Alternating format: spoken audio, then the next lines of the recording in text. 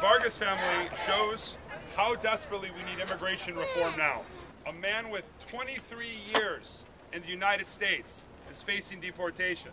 If the community loses Gustavo, we'll lose a taxpayer, we'll lose a business in a time when Detroit needs every single dollar it can get.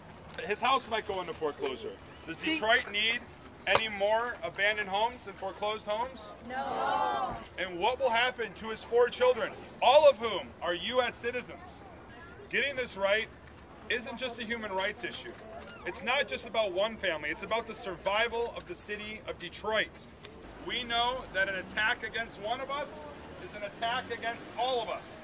That's why the Metro Detroit AFL-CIO is standing with the Vargas family and with the movement for immigration reform. Gracias a toda la comunidad por su apoyo, Thanks to all the community for your support, por estar aquí apoyándonos, for being here to support us, a todas las iglesias, all the churches, a todos los sindicatos que defienden a las familias. all the labor unions that defend the families. We are learning to get together to tell our stories.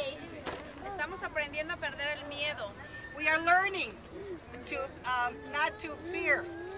We're fighting today not only for me, not only for my family, sino por las los millones de familias que merecen estar juntas. but for also for the millions of families that need to be united also.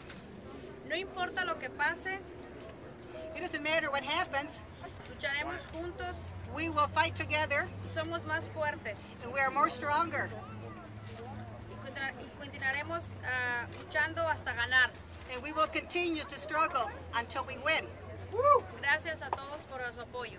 Thank you so much for your.